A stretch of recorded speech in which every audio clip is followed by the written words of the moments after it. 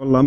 তো আমাদের এলাকায় একটা মোটামুটি সবাই জানেন আমাদের এলাকায় যে নতুন ফ্লাইওভার উদ্বোধন হয়েছে, এই গত উনিশ তারিখে, আজকে হচ্ছে একুশে ফেব্রুয়ারি, উনিশ তারিখে ফ্লাইওভারটা উদ্বোধন হয়েছে। এই হচ্ছে ফ্লাইওভার প্রধানমন্ত্রী শেখ হাসিনা উদ্বোধন করছেন।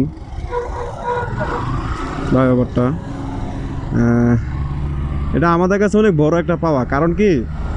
এই ফ্লাইওভারটা যখন ও মানে কার্যক্রম শুরু করে, উপর দিয়ে দেখতেছেন খুব সুন্দর।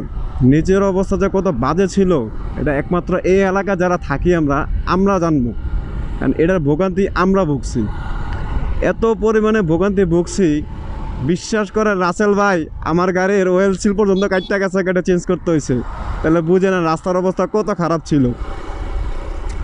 অনেক মানে অনেক কিছু আমরা সহ্য করে নিছি এই যে আমাদের পাশে আবার মেট্রো রেল হয়েছে আমাদের মিরপুরে।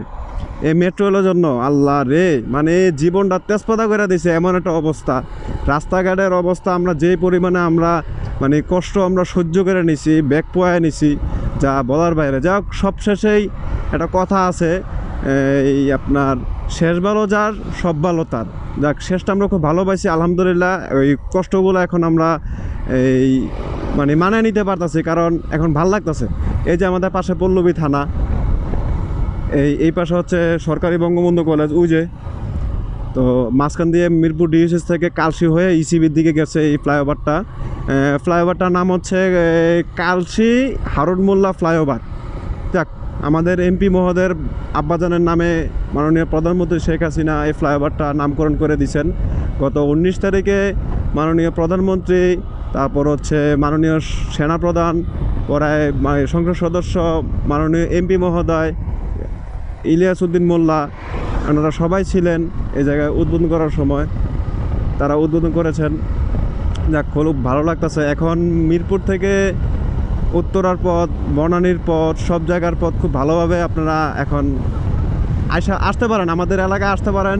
ছোটোখাটো একটা প্রায় সাড়ে তিন তিন কিলোর মতো একটা এই ফ্লাইওভারটা। আপনারা ঘুরে দেখতে পারেন। আমাদের জন্য অনেক বড় পাওয়া আমাদের মিরপুরবাসীর জন্য। বিশেষ করে পল্লবী এরিয়া যারা থাকে আমরা, এদের জন্য খুব সুন্দর একটা ইয়ে ব্রিজ করছে।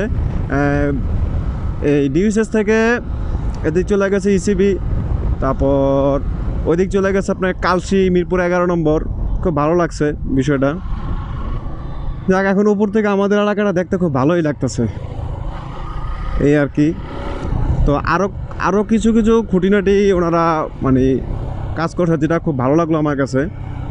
এই এই রাস্তাটা মানে এই যে এখন এখন কালসি পার হইতেছি। কালসি থেকে যে ইসিবি যে রাস্তার যে স্পেসটা, এই স্পেসের জায়গাটা ওনারা অনেক ভালো দুইটা কাজ করছে। দুইটার মধ্যে একটা হচ্ছে, এই জায়গাটা খুব একটা রিস্কফুল একটা জায়গা ছিল যে এই পাশের লোক এই পাশে রাস্তা ক্রস করতো। মানে মোটামুটি একটা মানে হাইওয়ে রাস্তার মতো হয়ে গেছে।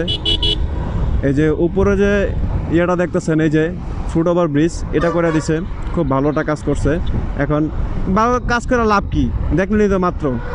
কিছু ছেলেরা এই এদিক দিয়ে গেল, রাস্তা পার হইল আসলে ভাই, আমরা মানুষ অভ্যাসের দাস।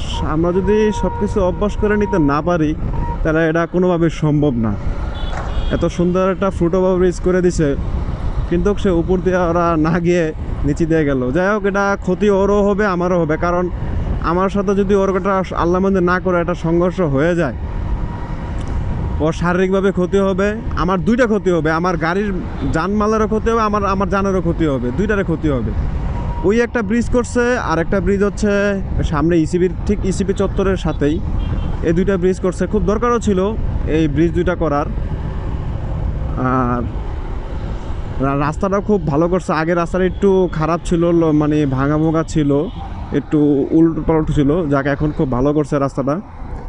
রাস্তাটাতে এখন গাড়ি চালাও মজা পাওয়া যায়। আগে তো মানে মনে মনে কান্না করতাম যে রাস্তাটা যে আল্লাহ কবে ঠিক করে দিব এ সরকার, কবে যে ঠিক করবে, কবে যে ঠিক করবে, একটা আশায় ছিলাম।